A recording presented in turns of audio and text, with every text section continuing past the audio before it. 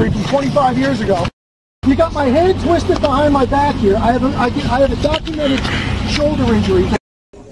It's a nice speech, but you're still not coming in. Let the record show that you just battered me Step back. and you're using. Oh!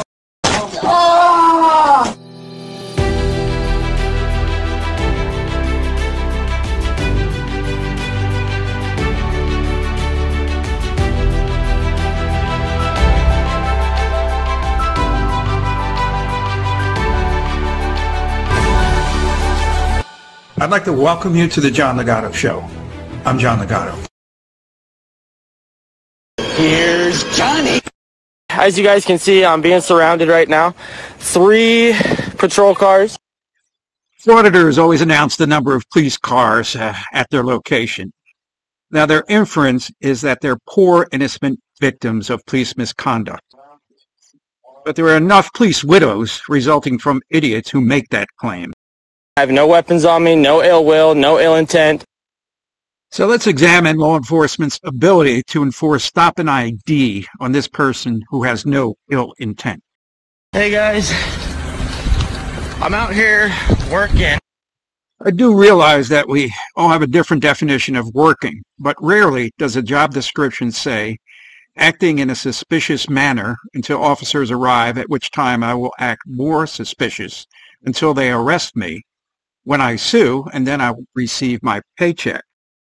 Hey guys, I'm out here working and this cop's been following me around. Come on, buddy. Come on. He's now behind my car.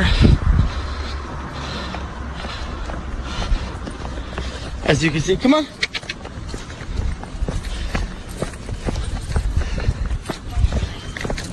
Come on, it's okay, come on.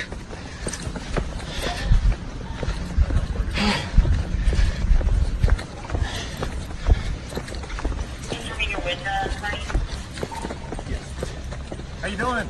I'm doing all right. How you doing? Good. Do you have some ID? Oh, what is that for, sir? Well, I'm just trying to figure out what's going on today.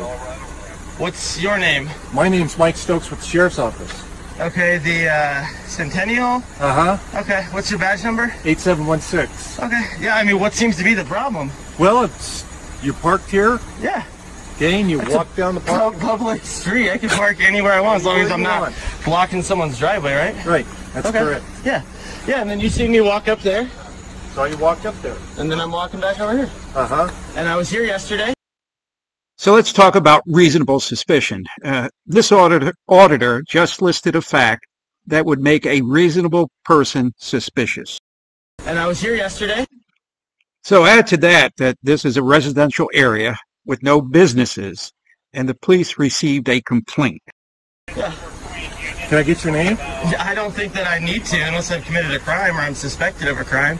You know, I mean, I just don't really understand what the problem was. I mean, I can understand somebody being nervous and making a call, but once you get here and you see, well, nothing's really going on that's illegal, I'm walking I don't my know dog. that right now. Well, yeah, but you act, you have to have the actual evidence before you can just say, well, I don't know, I'm, I think you might have. That doesn't work like that. It's not how the law, law works. You know, Oh, can you tell I- me how the law works?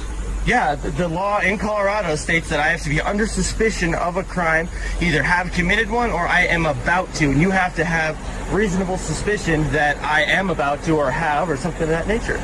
Me parking on the side of the street, walking my dog, you see me talking to a neighbor over there. Nothing about that is illegal. Absolutely not. Okay. Sit. Also obligated by law to provide identification when asked by law. Oh yeah, yeah, no, no. Actually, so I have the. I don't think you understand how much of this I know or have been in. Oh, I'm sure I do. Okay, so the, the thing is, is that yes, by law, I am required to identify if there is suspicion of another No. crime. So yes, sir. Listen, failure to hey, hey, hey. No, it's just a just a guy. Don't worry. Failure to ID is a secondary charge, meaning, hey, look, I just did this crime. Now you come up and say, I need your information. You're being charged with such and such a crime. I must identify myself at that point, and if oh. I do oh. not identify myself, at that point, I would get the secondary charge of failure to identify because I am lawfully arrested or being charged lawfully with a crime. At this point, that's not the case. The manner of the auditor is suspicious. statute only tells you about 50% of what you need to know to make one of these cases. The other 50% comes from case law. It is unlawful for any person to loiter or prowl in a place at a time or in a manner not usual for law-abiding individuals. So we got the manner, which is unusual. What else do we have here? under circumstances that warrant a justifiable and reasonable alarm or immediate concern for the safety of persons or property in the vicinity. So the person and properties would be the people who own homes in the area who have watched this guy for several days in their neighborhood, which has no parks or businesses. So in Section 2, it talks about some of the circumstances which you can consider when determining whether such alarm or immediate concern is warranted, refuses to identify themselves, Can I get your name? I don't think that I need to unless I've committed a crime or I'm suspected of a crime. Well, I don't know dog. that right now. Well, yeah, but you have you have to have the actual evidence before you can just say, "Well, I don't know. I'm, I think you might have." That doesn't work like that. It's not how the law, law works. You oh, know? Oh, can you tell I- me how the law works? Yeah, the, the law in Colorado states that I have to be under suspicion of a crime, either have committed one or I am about to. And you have to have reasonable suspicion that I am about to or have or something of that nature. Me parking on the side of the street, walking my dog, you see me talking to a neighbor over there. Nothing about that is illegal. Absolutely not. Okay. Sit. Also obligated by law to provide identification when asked by law. Oh yeah, yeah, no, no. Actually, so I have the. I don't think you understand how much of this I know or have been in. Oh, I'm sure I do. Okay, so the, the thing is, is that yes, by law, I am required to identify if there is suspicion of another No. crime. So yes, sir. Listen, failure to hey, hey, hey. No, it's just a just a guy. Don't worry. Failure to ID is a secondary charge, meaning, hey, look, I just did this crime. Now you come up and say, I need your information. You're being charged with such and such a crime. I must identify myself at that point, and if oh, I do oh. not identify myself, at that point, I would get the secondary charge of failure to identify because I am lawfully arrested or being charged lawfully with a crime. At this point, that's not the case. I'm not being charged with the crime. I'm not even under suspicion of a crime. Suspicious activity in itself, which if that's what you're trying to call this, is not a crime. You know, I mean, I can understand, like Did I I said. say that you've committed a crime. Well, crime? no, but you're asking for my ID saying that I am I asked- obligated. You said that I'm obligated, which is not correct. Well, you're obligated to identify yourself. Yeah, once I've been uh, charged with the crime, sir. Yeah. That is how it works. I mean, if you'd like, um, and you want to take this any further, I'd request that you get a supervisor, please. And then uh, we can go from there. Do you want to do that? Well, I mean, if you're going to leave and just leave me alone, obviously seeing that there's no crime, then no, have a great day type of thing. But if it is going to be something where you're going to try and take this any steps further, or you're going to lie to me and say that I'm obligated to identify myself, at that point I would like that you get a supervisor, please. Adam 31. So you're gonna take this farther? No problem. No problem. Yeah, so I'm actually at work right now. I'm being stopped. They said that uh, suspicious activity, something of that nature. Um, I never said suspicious activity. okay, maybe I manifested that on my own. I think you manifested that. Okay, well then how come it is that you're asking for my ID? You're in the neighborhood and you're going door to door. In case you didn't hear it, he said that uh, the auditor was going door to door. So let's add the fact that he was going door to door. And again, any one of these facts, for example, he's been there two days in a row. There are no businesses or parks in the area to walk the dog. He's vague and he refuses to identify himself. We now have plenty of reasonable suspicion. And how is that leads you to believe that I'm required to give my identification? Hey, how are you doing today, sir? Good, how are you? I'm doing all right. Uh, what's your name and badge number, please? Deputy Lebsack. Okay, got you. Are, are you the supervisor? He's on his way. Oh, okay. Is this the supervisor? He's on his way. I got you. Yeah, so I mean, as you guys can see, I'm being surrounded right now. Three patrol cars. Um, am I detained at this moment? Under suspicion of what crime? Uh, is this your car? I'm not answering any questions at this point until a supervisor arrives. I will not be answering any questions. I think I provided enough as it is. So I'm being detained for what? You just said my car, but what crime are you suspecting me of committing at this point in time that you can lawfully detain me? Okay, based on the, the database that I have used, you Yep. have a warrant out of Aurora for your arrest. In case you didn't hear it, our officer advised the innocent auditor that he has an outstanding warrant. But what crime are you suspecting me of committing at this point in time that you can lawfully detain me? Okay, based on the, the database that I have used, you Yep. have a warrant out of Aurora for your arrest. Uh, Notice the auditor's screenshot. False. The supposed warrant was cleared two years prior. Now, how can a supposed warrant be cleared if it's supposed? And then why would any cop believe him? The database of what? Okay? That's why you're being detained. Okay. Now, you're being cooperative with me, Yes. but if I feel that you're not going to be cooperative with me, I'll detain you in handcuffs.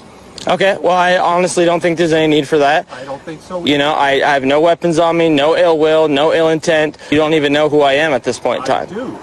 Okay? Now I'm asking You have suspicion. Right. Now I'm asking you for identification. Mm-hmm. Because I have reasonable suspicion now. This is my supervisor. This is your supervisor. Hey, how's it going, man? How are you doing? Good, yourself? I am doing all right. I mean, I'm not sure what's going on here. We got a ton of police officers. I'm surrounded. Note the change in his voice, the auditor's voice. He's busted. He's not so arrogant and self-assured anymore. Uh, I mean, I'm feeling pretty nervous right now. I'm at work, okay?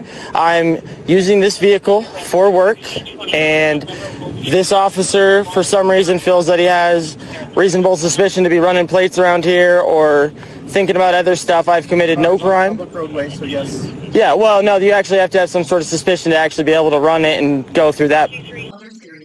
An outstanding warrant is proof to arrest you, Slick.